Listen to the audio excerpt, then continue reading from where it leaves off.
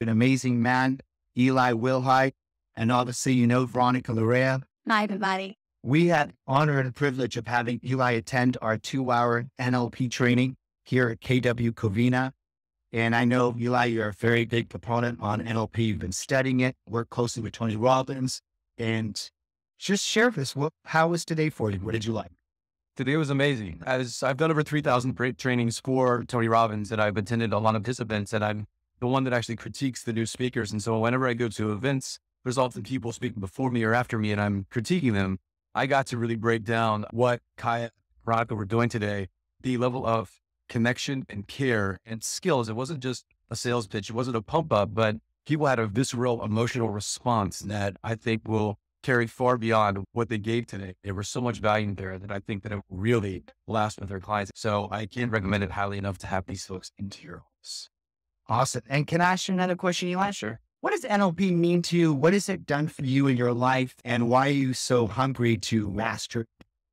You know, it's as you divide it today, it's the science, the study of excellence. And as we say, and Tony Robbins said many times, success leaves clues. So when you see somebody that's a top agent or somebody's struggling, it's not an accident. And so there are pictures in their mind, there are things that they're doing. If you want to make a great cake, there's a recipe, there's certain ingredients and amounts. And so really looking at the science of communication, that the quality of our lives is the quality of our communication with our clients, with our friends, with our families, but also the quality of communication with ourselves, our thoughts, our emotions, our patterns, how we move, how we breathe, what we focus on, what we make things mean. And when I watch speakers, where I watch communicators who are very, very good or okay or bad, they're often doing things.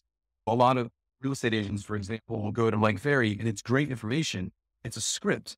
But even working for Tony, I, when I first got the job, there was about a dozen of us and we all had the same script, same words, same outcome, same tools, but my results were usually double what everybody else's was. So it's refined his skills and taking the time to really refine your skills is exactly what NLP provides. It's a refinement of the communication to really produce excellence in your business and in your life.